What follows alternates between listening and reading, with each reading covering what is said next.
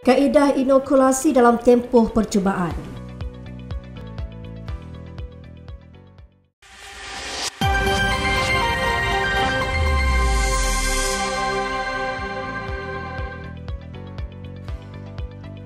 Kaedah inokulasi atau penyuntikan pada batang pokok getah mampu meningkatkan hasil pendapatan penoreh. Kini sedang menjalani tempoh percubaan dan akan diperkenalkan oleh kerajaan dalam tempoh setahun lagi. Menteri Perusahaan, Peladangan dan Komoditi Datuk Zuraida Kamarudin berkata, kaedah berkenaan akan membolehkan mereka yang terbabit dalam sektor berkenaan tidak lagi bersusah hati kerana aktiviti torehan akan dapat dilakukan walaupun pada waktu hujan. Kita juga nak mencari satu kaedah yang tengah dalam percubaan kaedah yang mana tidak boleh uh, yang boleh me, uh, memudahkan mereka bila musim hujan mereka tak payah susah hati bila apa tu uh, getah tu latex tu akan uh, air masuk dan sebagainya. Jadi ini kita panggil sistem inoculation. I mean uh, apa cocoklah macam uh, injection. Cocok dekat pokok batang getah tu ada tiup dia masuk ke dalam bekas yang bertutup. Jadi kalau hujan dia tak susah hatilah ya. So yang ketiganya juga uh, kita juga hendak uh, membantu mereka agar hasil getah ini diproses menjadikan krip daripada kaplam menjadi krip. Jadi kalau dia jual krip tu, krip tu adalah semi semi uh, proses atau semi uh, stage uh, sebelum dia nak buat barang-barangan tu kita latex tu ataupun kaplam tu kita jadikan krip.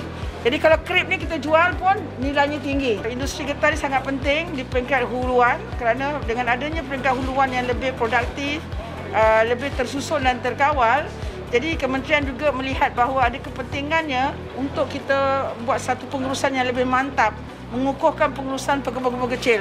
Pekebun kecil ni dia buat kerja bersendirian mengikut ladang mereka. Tadi ada yang 3 ekar, 4 ekar dan sebagainya. Jadi kalau kita hendak uh, apa mereka hendak membeli kata mesin untuk uh, kaedah-kaedah permodenan ataupun untuk uh, meningkatkan lagi hasil mereka, mereka tak mampu. Jadi kita akan menguruskan mereka mengikut cara kelompok.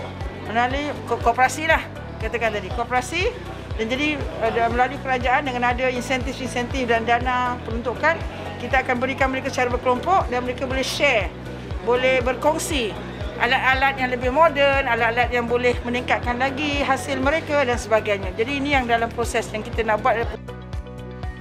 Beliau berkata demikian kepada pemerintah selepas merasmikan program Jelajah Agri Komoditi Keluarga Malaysia di Kampung Kepah Hulu Terengganu. Dalam majlis berkenaan, pekebun kecil terbabit telah menerima sumbangan Majlis Getah Malaysia MRC di bawah program penyerahan bantuan prihatin MRC termasuk memberikan alat peranti tablet bersama pelan data internet kepada keluarga terpilih. Pada program ini juga, para pekebun kecil diberikan taklimat oleh Lembaga Getah Malaysia LGM mengenai Permit Autoriti Transaksi Getah 4G, Sistem Rim Niaga Insentif Pengeluaran Getah IPG serta pendedahan berkaitan penyakit Pesta Lotiopsis. Selain itu, sesi dialog dengan pekebun kecil telah diadakan pada pertemuan tersebut bagi berkongsi segala maklumat projek terkini kerajaan dan kemajuan penyelidikan serta teknologi dalam bidang agri-komoditi yang boleh dimanfaatkan oleh pekebun.